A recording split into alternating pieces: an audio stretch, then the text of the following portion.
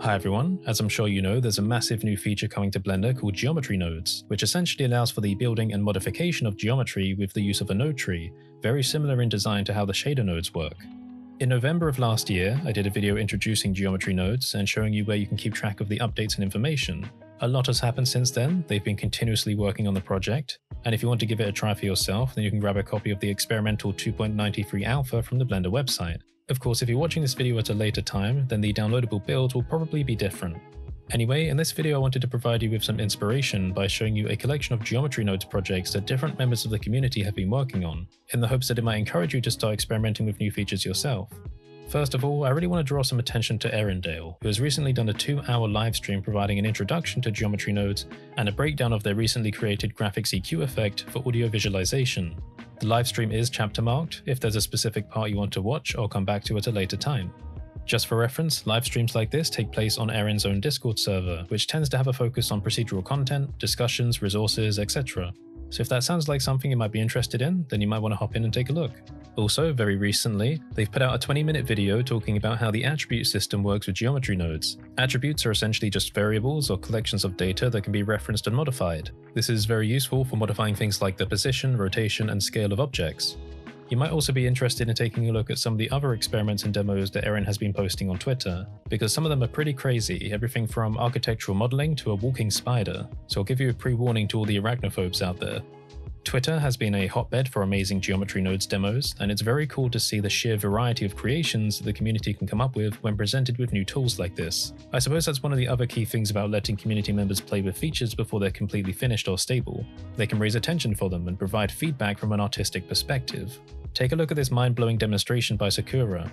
It's a surprisingly realistic plate of food with a wide variety of controls. Imagine how long it would take if you needed to model and manually place each of these details by hand. With geometry nodes, you can expose values that let you control the graph through the modifier stack, and this could of course include a seed value for randomization if that's what you want. Naturally, you can see the potential for procedural content creation with this, not even just for modeling, but also for composition, design, and all kinds of visual effects and motion graphics. Things that once almost required Python to generate within a decent time frame can now effectively be done on a shader graph with relative ease, of course with the appropriate knowledge. Take a look at this other example by Miro, who has created an effect representing a V-shaped flock of birds. I'm sure there's lots of people out there that would like to use this for their environmental compositions. They provided a 4 minute breakdown video so it's quick and easy to digest, and of course, as you can see, given the procedural nature of the nodes, there are a variety of parameters available that will let you control the shape of the formation. There are other Geometry Nodes videos on their channel, so it might be worth taking a look at those. Sharon from Just 3D Things has also just released a brick surface generator for geometry nodes on Gumroad. They have been doing a lot of work with tiling surfaces recently with the regular shader nodes, but now they've been adapting that for regular geometry as well. As a side note, if you've been looking for a tool for creating tiled surface effects for your materials, then you'll likely find their TileKit product pretty useful, because it lets you generate all kinds of tiled patterns.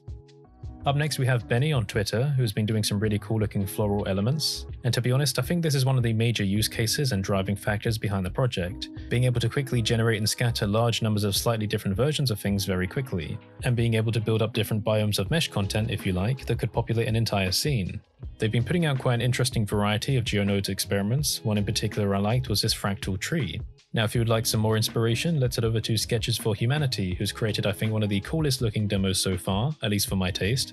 You know how I like glowing blue things?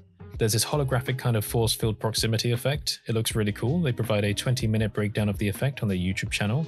And it seems like this demo would be easily adaptable into a wide range of other proximity effects, so that's definitely one to try out. They have other Blender related YouTube videos on their channel if you're interested in taking a look. Okay, so if you want a good demonstration of how Geometry Nodes is going to change the way people approach repeating yet variable structures in Blender, then all we need to do is take a look at this procedural tree demonstration by Blender Things. I don't really know what to say about this, other than it's brilliant, but that's the power of proceduralism. Not even just procedural generation, but also the procedural modification of pre-existing objects. From the looks of it, they've also ended up putting this demo on Blender Market, so it's there if you want to dissect it and break it down. I also thought this crowd simulation was a pretty good example of how even simple scattering techniques can be applied to such a wide range of uses.